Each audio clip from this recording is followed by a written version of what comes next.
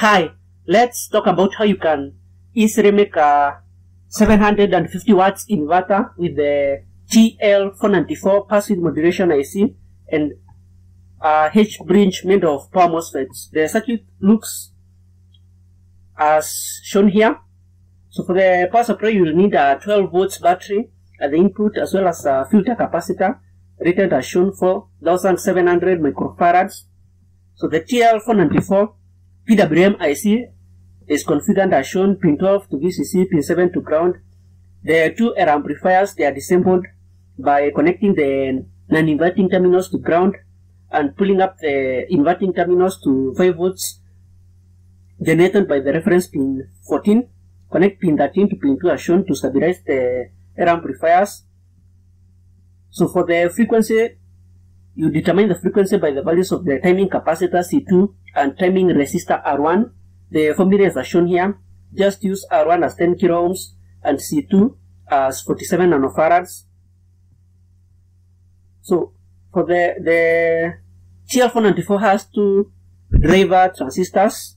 The open collectors are pulled up to 12 volts via 220 ohms towards resistors, while the open emitters are grounded.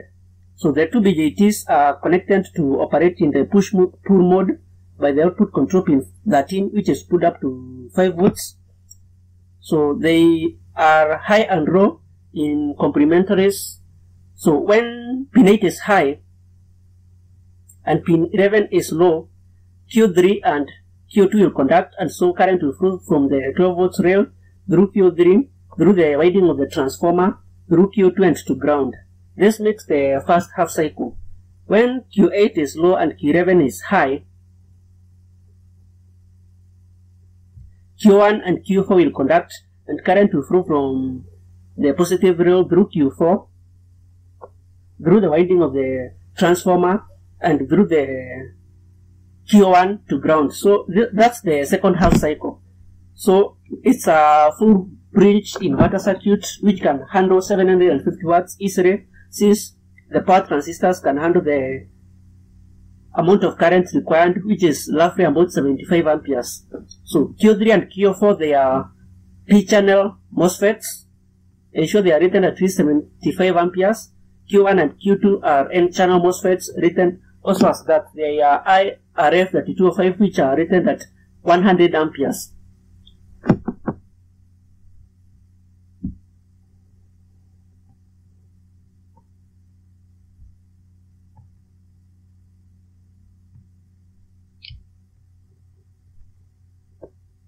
This is the oscilloscope shot.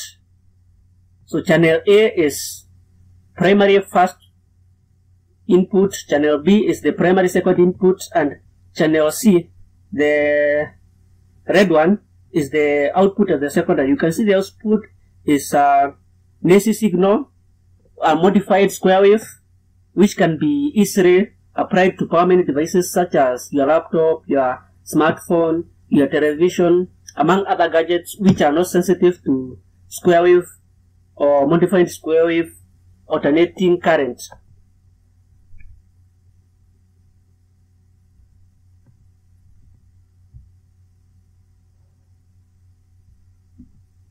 So that's all for this tutorial. Please like this video, comment, share and subscribe to my channel of Make It for more amazing tutorials and projects.